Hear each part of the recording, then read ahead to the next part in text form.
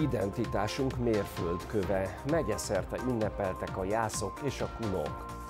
Magyar géniusz a Cifra palotában Kecskeméten is bemutatták megyénk egy szeletét.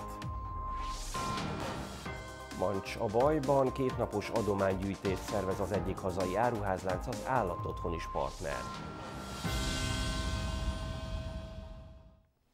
Jó estét kívánok, köszöntöm a Szolnok Televízió nézőit. Május 6-án, pénteken 19 órakor az aktuális látják a nap legfontosabb híreivel. A jászok és a kunok legfontosabb ünnepe. Május 6-a 2014 óta a redemció kihirdetésének emléknapja. Mária Terézia 1745-ben ezen a napon írta alá azt az okmányt, melyel a Jászkun 3-as kerület megválthatta önmagát. A hagyományőrzés azóta is fontos feladata a megyének, és nem csak a megyében élő jászoknak, kunoknak. Az ünnepségen első alkalommal adták át a jászkunságért elnöki okleveleket.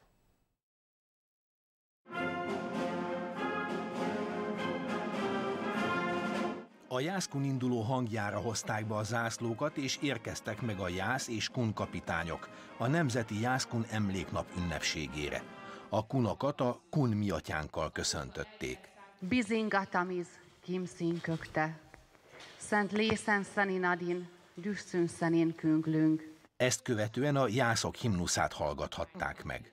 Tengerítjeinken, sziget erdeinkben, Mária Terézia 1745. május 6-án írta alá azt az oklevelet, amelyben a jászkunságot visszahelyezte kiváltságos helyzetébe. Őseink 580 ezer aranyforintot és ezer lovas katonát adtak cserébe.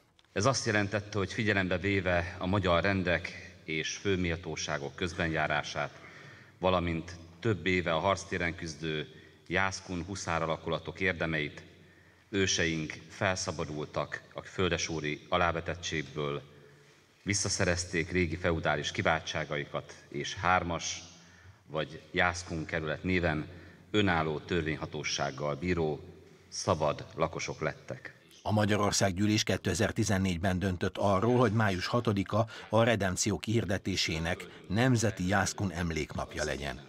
Az önmegváltás a közösség építéséről is szólt. Bárhogyan változott a magyar állam szerkezete, háborúk és békék követték egymást, ezek a közösségek, a jászok és a kunak egysége azóta is megvan, mondta dr. Fazeka Sándor, a Kunszövetség tiszteletbeli elnöke. A pandémia idején mindenki rendezhette gondolatait, most már a cselekvés ideje van, mondta Borbás Ferenc, emeritus Jászkun főkapitány. Mit tanulhatunk valójában a régiektől? Azt az identitást, ami kimondottan vagy kimondatlanul minden embernek része volt itt a jásságban, kunságban, nagykunságban, kiskunságban. Azt az identitást, ami egy, egy szövetet képzett valójában a társadalomban, egy láthatatlan szövetet, ami összekapcsolta ezeket az embereket, és talán hiába költöztek el jásságból, kunságból, ez a szövet mégis megmaradt.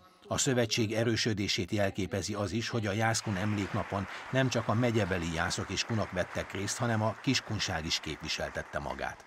Idén először adták át a jászkunságért elnöki elismerő oklevelet azoknak, akik munkájuk során sokat tettek hagyományok megőrzéséért. Nekem van két gyerkőcöm, és nagyon szeretném, hogyha ők is éreznék azt, hogy, hogy Jásznokon Szolnok megye összes települése élhető, itt vagyunk, a vidéket fejlesztjük, és a fiatalok a jövő, tehát én nagyon szeretném ezt az eszmét, a jászkun hagyományokat átadni nekik, és, és tovább őrizni. Az ünnepség a Jászság népi együttes műsorával ért véget. Az emléknapon minden mellett Jász és Kun himzés bemutató, este pedig gyertyagyújtás is várta az érdeklődőket.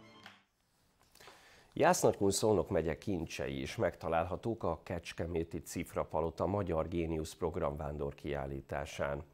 A kiállítás egy nagyszabású és reprezentatív tárlaton belül vonultatja fel a vidéki múzeumok legértékesebb és legkülönlegesebb műtárgyait. A magyar kulturális örökség tekintélyes részét a vidéki múzeumok őrzik. Ezen műtárgyakat azonban többnyire csak a helyben élők ismerik. Az ötlet forradalmian új, hiszen magyarságunk örökségét, illetve a vidék legjelentősebb tárgyanyagát még soha nem láttuk egy helyen egy időben. A programot a Magyar Vidéki Múzeumok Szövetsége koordinálja. Ez a szervezet az anyaországi és a határon túli magyar vidéki múzeumokat tömöríti, és ezek az intézmények adták össze azt a tárgyanyagot, amiből ez a kiállítás elkészült. A kiállításon 67 tagintézmény több mint 150 történeti, régészeti, néprajzi és művészettörténeti műtárgyait tekinthetik meg a látogatók. Az intézmények saját elhatározása volt, hogy ők mit tartanak fontosnak, milyen tárgyat adnak ehhez az országos vándor kiállításhoz. Ezek a tárgyak reprezentálják a vidéki múzeumokat, ezt szeretnék elmondani magukról. Van, amelyik az értékénél fogva kiemelkedő jelentőségű, van, amelyik olyan történelmi nevekhez kapcsolódik, ami kiemelkedő jelentőségű, de van olyan, ami a helyi identitás részét képezi, és ezért fontos az adott intézmény számára. Szolnok sem maradhatott ki ebből a kezdeményezésből. A Damjanics János Múzeum felajánlásából egy kun ezüstláncot tekinthetnek meg az ide látogatók. Ez egy kun fejedelem lánca, ezüstlánca, egy nagyon szép vastag ezüstlánc, egy kis bullával a végén, egy üreges bullával, amiben a leírások szerint valamilyen szerves anyag lehetett, most már üres. A tárlatot a Kecskeméti Cifrapalotában május 22-ig tekinthetik meg az érdeklődők. A kiállítás 2023 végéig országjárásra indul, melynek következő állomása Gyula lesz. Mancsa bajban kétnapos adománygyűjtést szervez az egyik hazai áruházlánc. Városunkban a hétvégén a Szolnokvárosi Állatotthon Alapítvány négy lábúinak gyűjtenek kutya élelmiszereket és tartásukhoz szükséges felszereléseket. A vásárlók az alapítvány standján szombaton és vasárnap 10 és 16 óra között megtalálják az Interspár épületében. Csaholó gazdára váró kutyák a szolnoki állatotthonban. A szakemberek megfelelő körülmények között tartják őket, az ellátásuk azonban költséges feladat. Minden segítség jól jön. Hétvégén az Interspár hálózat segíti országszerte az állatmenhelyeket. Szolnokon a Mátyás királyúti üzletben szerveznek gyűjtést. Május 7-én és 8-án a Szolnokvárosi Állatotthon szakemberei várják az állateledeleket, kutyakonzerveket és a kutyák tartásához szükséges felszereléseket.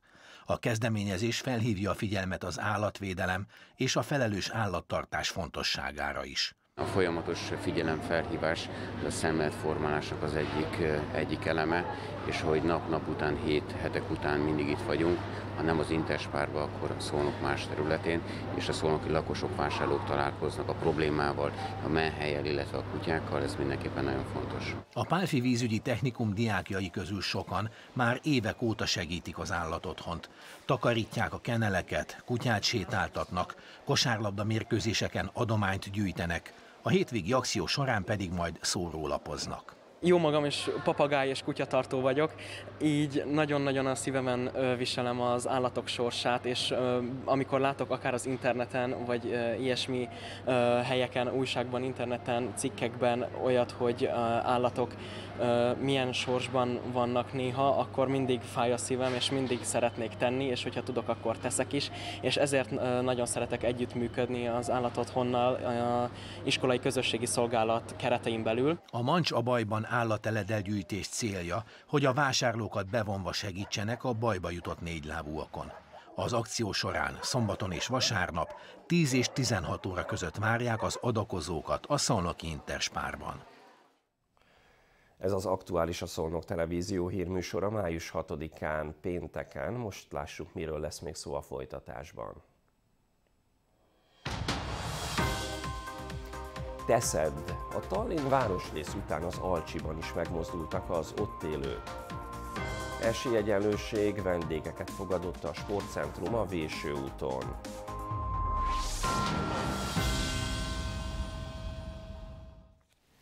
Teszed. A Tallinn városrész után az Alcsiban is megmozdultak az ott élők. Az országos akció helyben is felhívta a figyelmet közvetlen környezetünk higiéniájára. Az Alcsi városrész ma megtisztított körzetére ráfért a rendrakás.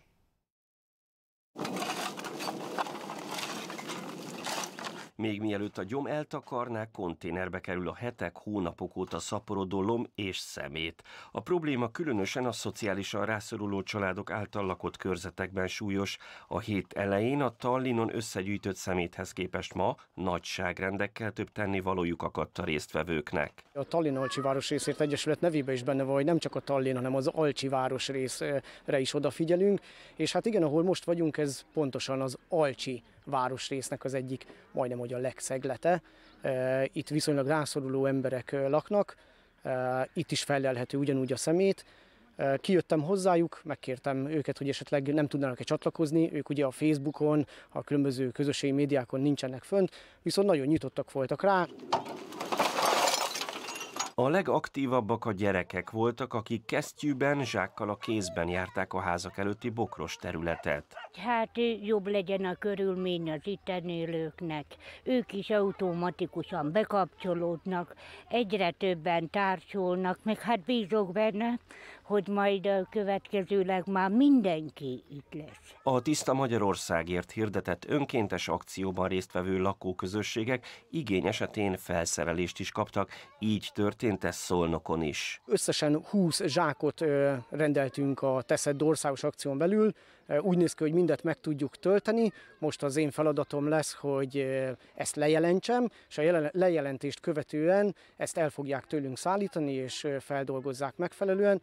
Úgy érzem, hogy ez nagyon sikeres. Egyetlen egy baja van ennek, az egyik, hogy ugye szemetelünk, a másik pedig, hogy egyszer figyelünk oda egy héten erre. Én szeretném, hogyha nem csak egy teszed akció keretében mozdulnának meg így az emberek, hanem folyamatosan lenne ez egy vissza-visszatérő alkalom, hogy na szedjük össze. És példamutató magatartással hiszek benne, hogy nem fogják eldobálni az emberek a szemetet.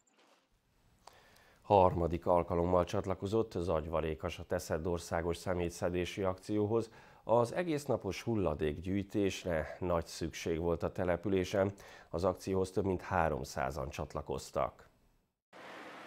A Teszed önkéntesen a Tiszta Magyarországért akció ma hazánk legnagyobb önkéntes mozgalma. A személygyűjtési akció keretében szerte az országban nagy takarítanak a Teszed önkéntesei.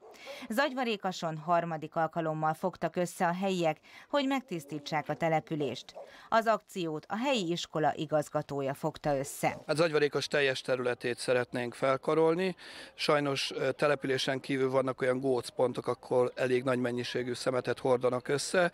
Ezeket szeretnénk most megszüntetni, de a zagyvarékas utcáin is szeretnénk végigmenni. 300 főre adtam le a jelentkezést, remélem ennél többen leszünk. Ezúttal a Bölcsöde, az Égszínkék óvoda, az Idősek klubja és a polgármesteri hivatal is csatlakozott az akcióhoz. Mi a polgármesteri hivatal részéről 12 fővel csatlakoztunk, és a célunk az lenne, hogy minél inkább figyeljünk oda a környezetünkre, és ezért mi is szeretnénk tenni ennek érdekében, és felhívni a lakosság figyelmét arra, hogy próbálják meg szebbé tenni a környezetüket. Az általános iskola mind a 230 diákja gumikesztyűt húzott, hogy szebbé, tisztábbá tegyék a települést. Sajnos nagyon sok a szemét, rengeteg probléma van a kihelyezett szemetekkel kapcsolatban, nagyon sok hatósági ügyet indítunk. A probléma az főként az, hogy nem lehet megtalálni a szemét elhelyezőjének tulajdonosát, de próbálunk fellépni az illegális szemétlerakások ellen. Az akció hiánypótló, hiszen a település meglehetősen szemetes, több ponton kisebb illegális hulladéklerakót is találni. A tévében is nagyon rossz látni, hogy az állatok szenvednek a rengeteg műanyagtól és szeméttől, ezért én szelektíven is szoktam gyűjteni így otthon is a hogy külön kukákba teszem a pedoműanyagot, vagy a, esetleg a zöld hulladékot. Ö, hát... Miért csatlakoztál a mai akcióhoz? Hát én Zagyvarékas, én ugye itt élek, és hát szerintem nagyon szennyezett itt Zagyvarékas, és hogy főleg ott a Zagyva partján ott nagyon sokan szemetet lehordanak, és hogy onnan, hogyha megtisztítjuk valamennyire, akkor megvédhetjük az ottani állatokat. A településen reggeltől késő estig szedték a szemetet. A kétnapos akció holnap reggel folytatódik. Különleges sportnapot szerveztek a Véső úti sportközpontban. A sportcentrum az esélyegyenlőségi világnap alkalmából hívta meg a Ligetúti iskola diákjait, hogy együtt mozogjanak, találkozzanak a város élsportolóival, és próbáljanak ki olyan sportágakat, melyekkel nem biztos, hogy a mindennapok során találkozhatnak. A rendhagyó esemény olyan jól sikerült, hogy jövőre jöhet a folytatás. Na megvan Lorenzo az összes lila? Nem, még... még az az egy hiányzik. A horgászás, mint sport csak egy volt azok közül a lehetőségek közül, amit kipróbálhattak a gyerekek. A Vési úti sporttelep megtelt fiatalokkal, akik, ha csak tehették, mindent ki is próbáltak. Az Esélyegyenlőség világnapja alkalmából hagyományteremtő módon szervezett sportnapot a Sportcentrum, melyre a Ligetúti iskola diákjait hívták meg. A mozgás, a sport valamennyi korosztálynak egészségesnek és kevésbé egészséges embernek egy nagyszerű időtöltés. Legalább 10-12 sportággal megismerkedhetnek, azért ez is egy kihívás számukra. Tévén keresztül máshonnan láthatják ezt, de amikor fölvehetnek egy vívó felszerelést, amikor kosárral dobhatnak, amikor atlétikai próbák vannak, teniszt próbálhatják ki, ezért a sportákban való érzékenyítést is jelent. A gyerekek nem csak sportolhattak, találkozhattak is a város élsportolóival. Akadt olyan sportág, melyben most könnyedén le is tudták győzni a bajnokokat. Bátran, szúrj meg! Csúrjál meg! Azaz, szuper! A játékosok szívesen jöttek. Ha kellett, aláírták a róluk készült képeket, de készültek a közös fotók is, és a legfontosabb, hogy együtt sportoltak. Nagyon örülünk, hogy itt lehetünk, és részesei lehetünk ennek a sportnapnak. Külön öröm, hogy a gyerekek tényleg ilyen nagyon nagy örömmel csinálják, és most, hogy tudunk csalni az arcukra, úgyhogy tényleg ez egy nagyszerű rendezvény, úgy gondolom. Mi a tapasztalat? Ismerik a sportágakat, a ti sportágatokat? Tudják, hogy, hogy kikkel állnak szemben? Volt olyan, aki ismerte konkrétan mi csapatunkat is, volt, aki a sportágat nagyon szerette, de nagyon pozitív az, hogy magához a sporthoz pozitívan álltak, és nagyon tetszett nekik maga a mozgás is, és örömmel csinálták a gyerekek. A Covid időszakát követően minden rendezvénynek örülnek a gyerekek, hiszen kimozdulhatnak az iskola épületéből. Külön nagy öröm, hogy híres sportolókkal is találkozhattak a gyerekek.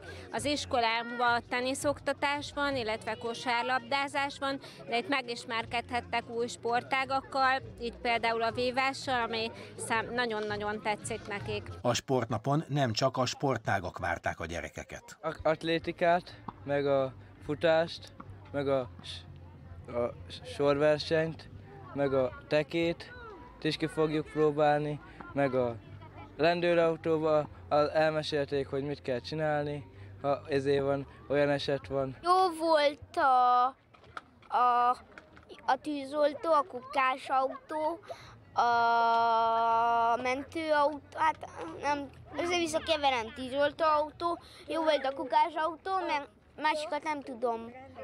Rendőrautó. És a sportok közül mit próbálták ki? Na, a, a, a, nekem az is, ne, hát kosárlabdáztam is, ö, vi, ö, az a, teniszlabdáztam is. Bár nem a győzelem volt az elsődleges cél, de azért a versenyszellem ezen a délutánon is előjött. A karika az volt a legjobb rész, meg ez a célba dob, ez a célba dobó, meg a hajaskász, meg a Tetko meg a Dát volt a jelbírók, meg az tűzoltóautó, meg a rendő a, a, autó, meg a, meg a Boeing volt a jelbírók. Melyiket volt könnyű? A, szerintem a, a, bo, a bo, szerintem a karikadobás könnyű volt. Csináltam azt, a boringot, a kosárt, a, a teniszt, jó dolgok ezek? Igen. Miért? Mert sportok! A Sportcentrum partnereinek segítségével nem csak a sporták bemutatót adta a gyerekeknek, több százezer forinttal is támogatta az intézményt.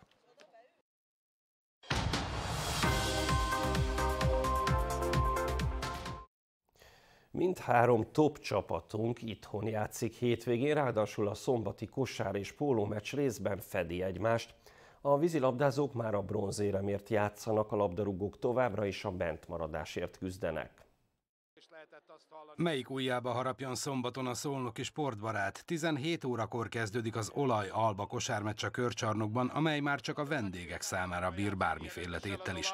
A korábbi olajhős Vojvoda Dávid csapata a playoff negyedik helyéért kapar, ehhez győzniük kell holnap. A szolnoki sérült lista továbbra is olyan hosszú, mint a vonatfügy, igaz, ez a hiányos csapat is biztosan győzte le szombaton a teljes arzenált felvonultató körmendet.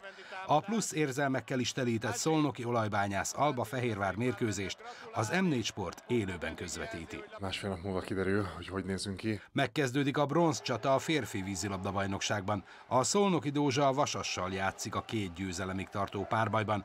A 18 órakor kezdődő meccset az mvls.hu oldal élőben közvetíti. Utolsó csata vár ránk, viszont körülményekhez képest szerintem mi nagyon jó leszünk felkészülve. Volt időnk kimenni Belgrádba, a Partizánnal együtt készültünk erre a mérkőzésre, illetve a héten is két kapusztunk uh, OSC-vel, nagyon sok edzés mellett. A Fradi Vasas, illetve Szolnok OSC elődöntők óta eltelt majdnem egy teljes hónap. Ez idő alatt bajnokok ligája meccsek, illetve világliga mérkőzések voltak. Előbbiben nem, utóbbiban viszont nagyon is érintett volt a Szolnok és a Vasas is. Azért ez nem a legideálisabb, hogy ilyen hosszú idő eltelt két meccs között, főleg, hogy most ilyen nagyon fontos meccs vár ránk, de hát az ellenfél ugye ugyanilyen feltételekkel indul, úgyhogy azt gondolom, hogy, hogy jó meccset fogunk játszani. A tét komolyabb nem is lehetne. A Magyar Bajnokság bronzérmese bajnokok ligája selejtezős lesz, míg a negyedik amellett, hogy érem nélkül marad, az Eurókupában indulhat. Mondhatni mindenre volt időnk, de nem feltétlen szerencsés ez a helyzet, mert szerintem egy játékos sincs hozzászokva hogy eltelik a két mérkőzés között közel egy hónap, de igazából nem kell ezzel foglalkozni. Náluk is eltelt egy hónap, nem ezen fog múlni. Február 19-én sokáig emlékezetes meccset játszott a Dózsa és a Vasas. Jansik Dávid utolsó pillanatban szerzett góljával szerezte meg a győzelmet a szolnok. Most nyugodtabb, de ugyancsak győztes meccsben bíznak a játékosok. Hogy ennyi izgalom nem is kell a közönségnek. Sok veszíteni valója van a szolnoki MÁV FC-nek. Három fordulóval a bajnokság vége előtt az utolsó helyen áll a csapat, amely alig hanem az utolsó szalmaszálba kapaszkodhat vasárnap. 17 órától az ugyan még nem kieső helyen áll álló, mégis meleg helyzetben lévő dorogot fogadja, amely egyetlen ponttal van a vonal fölött. A döntetlen egyik csapatnak sem jó, viszont aki kikap, jó eséllyel tanulmányozhatja már, hogy a következő szezonban hova kell utaznia MB3-as meccsekre. Kedves nézőink, most pedig nézzük, miről ír az új néplap szombaton.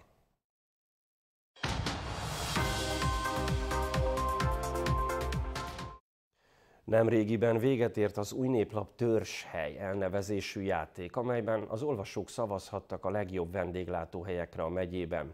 A közönség szavazatai alapján város kategóriában a Tiszafüredi Nópara gyógysertár lett a befutó. A két tulajdonos Mihály Ágnes és Mihály Sándor az elismerés kapcsán a mindennapjaikról is mesélt a lapnak. Játszma címmel működik a Szolnoki Abanovák Agóra Kulturális Központ új klubja. A közösségi program keretében különböző kártya és társas játékokat próbálhatnak ki az érdeklődők. A beszámolók mellett szolnoki oldallal jelentkezik szombaton a megyei napilap. Az aktuális végén nézzük legfontosabb híreinket még egyszer, röviden. Identitásunk mérföldköve, megyeszerte ünnepeltek a jászok és a kunok. Magyar Géniusz a Cifra palotában Kecskeméten is bemutatták megyénk egy szeletét. Vancsa bajban kétnapos adománygyűjtés szervez az egyik hazai áruházlánc, az állatotthon is partner. Önök a Szolnok Televízió pénteki hírműsorát látták. Beszámolóinkat ismét megtekinthetik honlapunkon, valamint Facebook oldalunkon és YouTube csatornánkon, ötleteiket pedig osszák meg velünk a képernyőn látható elérhetőségek valamelyikén.